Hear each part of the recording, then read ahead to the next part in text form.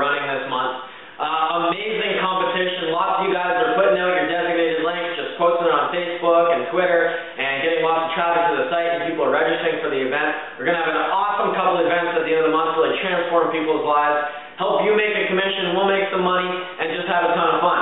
And so far for the comp competition, we've got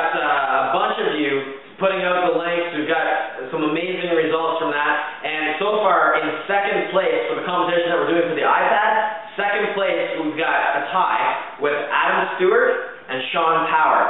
So both of those guys are tied for second place, and in first place, for the free iPad that we're giving away this month to our top promoter, we've got Rivers Corbett.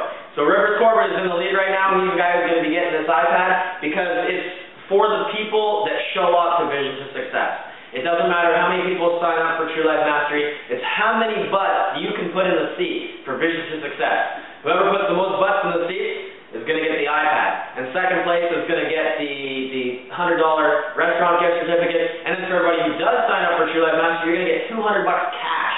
And all of our affiliates that promoted last month, they all made at least 200 bucks. So awesome opportunity for you to make some money to help support us in our event and what we're doing to really transform people's lives and help people get to the next level. And we're having a ton of fun.